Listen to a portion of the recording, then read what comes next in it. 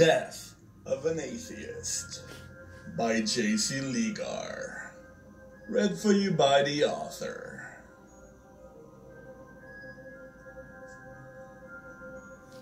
What do all humans have in common?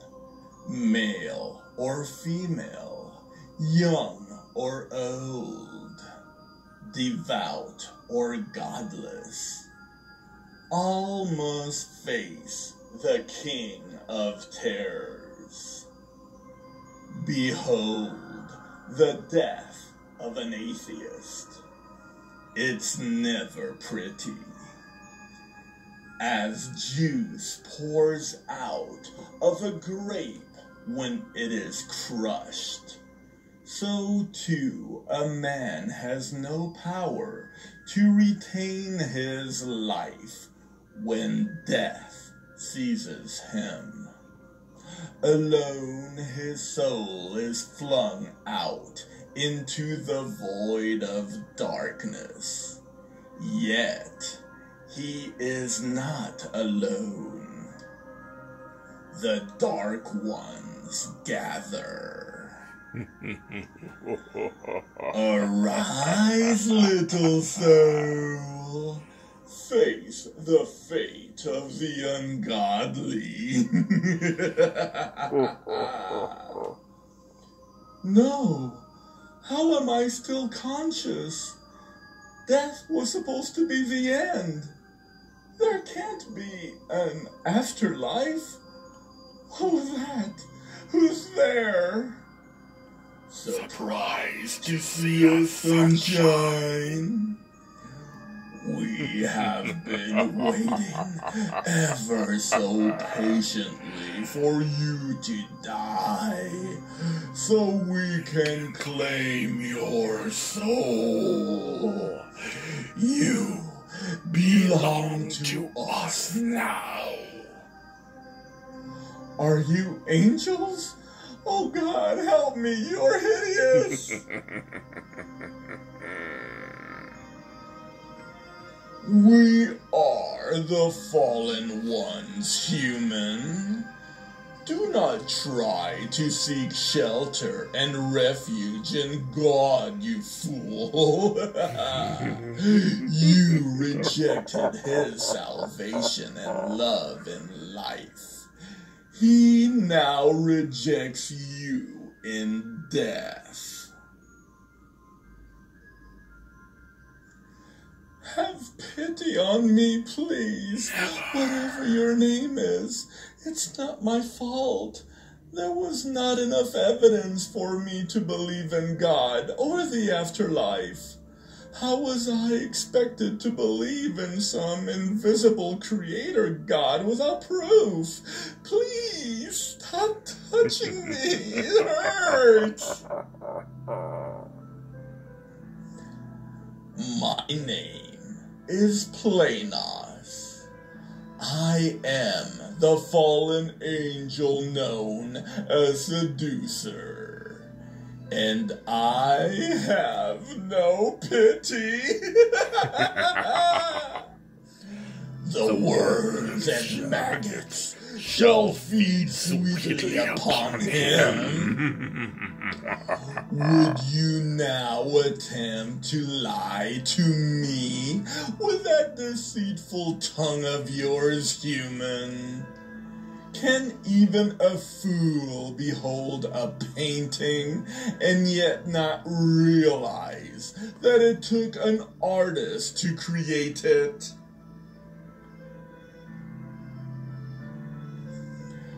That's just the thing. All we humans have is that book called the Bible, which was written by man and full of contradictions. How are we to believe in talking snakes and people living for 900 years and a virgin birth? Not to mention dragons, giants, and unicorns. Oh, but you did believe in the Big Bang Theory. and that you evolved from a primordial pond to that of a monkey. From goo to you by way of the zoo.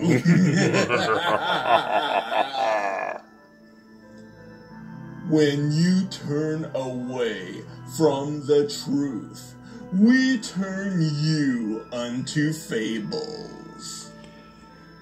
Don't, Don't tell, tell us you have no faith to believe.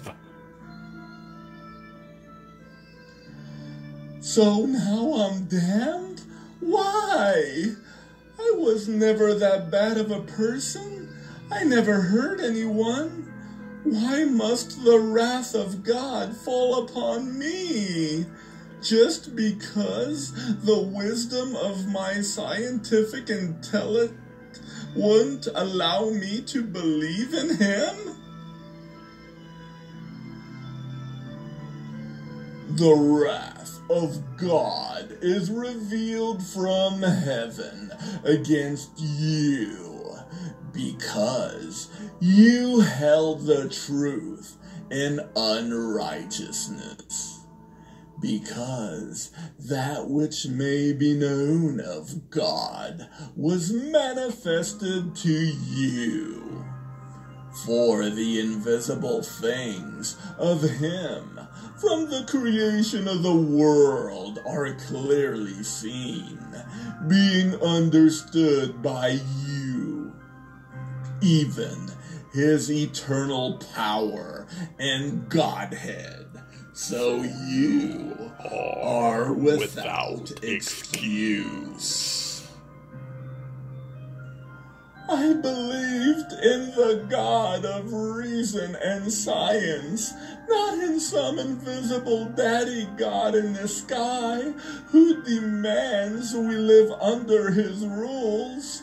If I had forbidden pleasures that my lust wanted me to indulge in, no one was gonna tell me what I couldn't do, especially God. Yeah.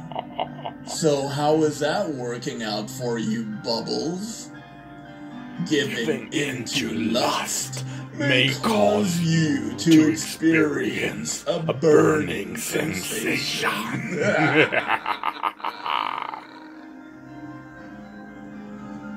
You changed the truth of God into a lie. Wherefore, God also gave you up to uncleanness through the lust of your own heart to dishonor your own body. For this cause, God gave you up unto vile affections. And even as you did not like to retain God in your knowledge, God gave you over to a reprobate mind to do those things which are not convenient.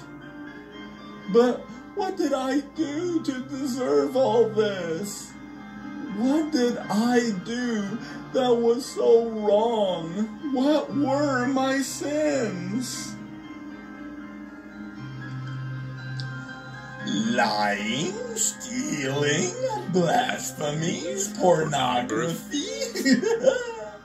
you were filled with all unrighteousness, fornication, wickedness, covetousness, maliciousness.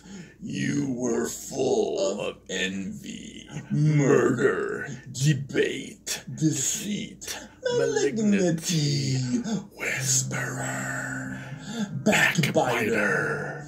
You were a hater of God, despiteful, proud, boaster, and an inventor of evil things, disobedient to parents. You were without understanding, covenant breaker, without natural affection, implacable, unmerciful. You knew the judgment of God, that they which commit such things are worthy of death. You not only did the same, but you had pleasure in them that do them. oh, I am in bitterness of soul, for I long for a death that can deliver me from this misery. Unconscious oblivion, where art thou? For the thing which I greatly feared has come upon me and that which I was afraid of is come unto me. You think you know fear. Behold, you still must face the Holy One which we despise. After your hardness and impenitent heart, you treasured up unto yourself wrath and revelation of the righteous judgment of God. He will render to every man according to his deeds. Why do you hate me so that you rejoice at my damnation? What have I ever done to you? You had the opportunity we who are fallen never had to be forgiven. God did not become an angel to die for us he was made in the likeness of men to die for humanity. Why did you fall? What did you do that was so wrong? God wanted us who were first to serve you who were last. We who are strong to serve you who are weak. We who were once beings of light and beauty had to be subservient to you mere jars of clay. When Lucifer rebelled against God, I joined him. I soon learned why God is called the Almighty. With a single word, we were cast out of heaven as lightning. We await our final judgment. You humans are the cause of our ruin. We can never harm God physically, but we can cause him pain emotionally by causing his beloved human race to turn from him in unbelief for eternity. I will inflict upon you all my rage and, and hatred, hatred that I feel for him. Ah!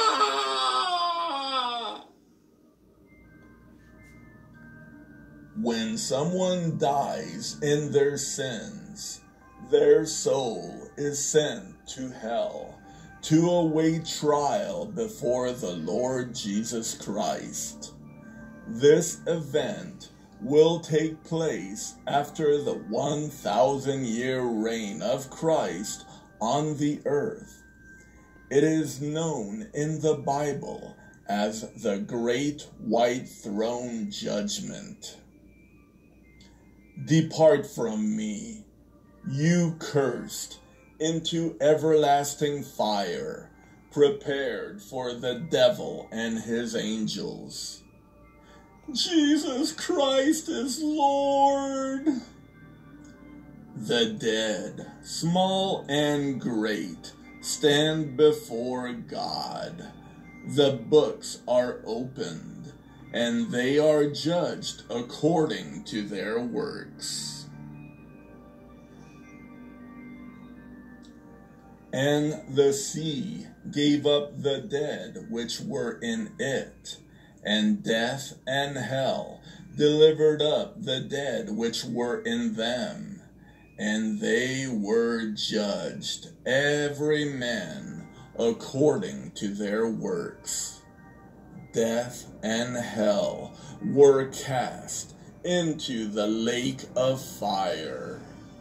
This is the second death, and whosoever was not found written in the book of life was cast into the lake of fire. Dear reader, if you are an atheist, God does not believe in you.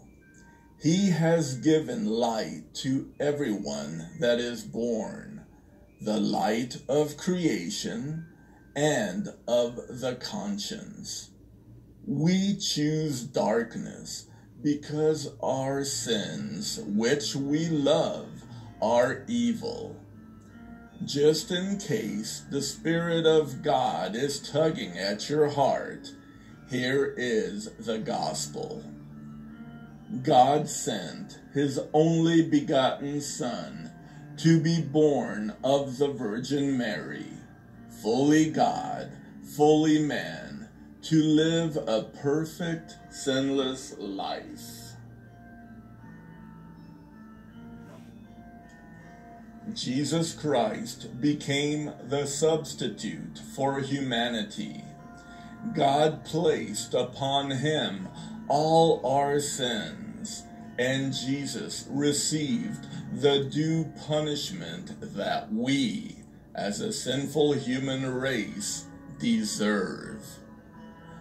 But he was wounded for our transgressions. He was bruised for our iniquities. The chastisement of our peace was upon him, and with his stripes we are healed. For Christ also has once suffered for sins, the just for the unjust, that he might bring us to God, being put to death in the flesh, but quickened by the Spirit. It is finished! But God demonstrated his love towards us in that while we were yet sinners, Christ died for us.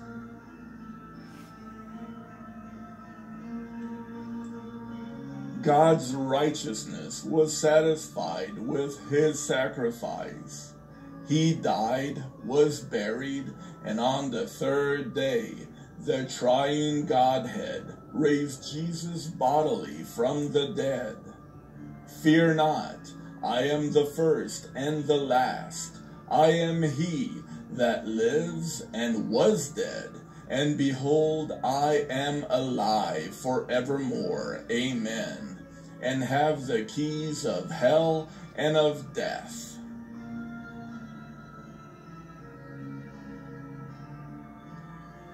Now you have a choice to make to accept Jesus Christ as the rock of your salvation or reject him and what he did for you. Here's a warning. Jesus, in a parable, referred to himself as a stone. All who fall upon me will be broken, but all I fall upon will I grind to powder. So fall upon your knees in prayer. Confess your sins to God. You know what they are. Trust in the death, burial, and resurrection of Jesus Christ for your forgiveness. Receive Him as your Lord and Savior now. Tell someone. God bless you all. Amen.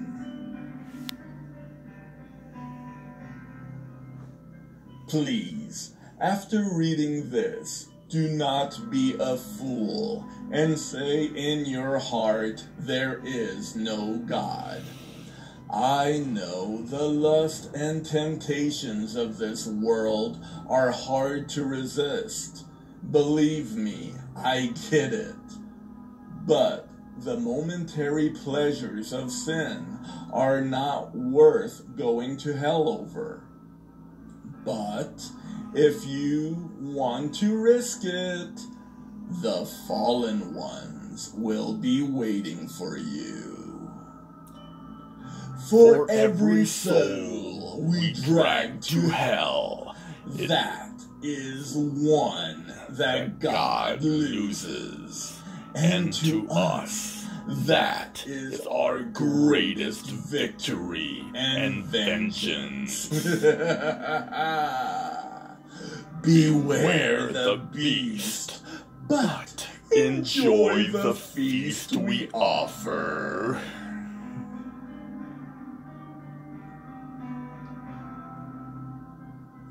This has been Death of an Atheist by J.C. Legare. Hope you enjoyed it. And if you did, please smash that subscribe button. Just smash it. Smash it, I say.